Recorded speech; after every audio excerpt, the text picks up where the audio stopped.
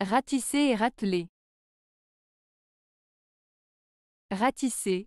En jardinage, il s'agit de passer un râteau sur la terre pour enlever les mauvaises herbes ou niveler le sol. Cela implique de ratisser successivement une zone. Exemple, je vais ratisser le jardin pour enlever les feuilles mortes. Il faut ratisser le sable après avoir nivelé le sol. Rateler. Bien que similaire à ratisser, le verbe rateler se réfère plutôt à une action ponctuelle ou brusque de passer ou de pousser avec un râteau. Il est souvent utilisé pour désigner l'action de rassembler ou de ramasser quelque chose avec un râteau. Exemple, il a ratelé les feuilles en un tas pour les mettre dans un sac.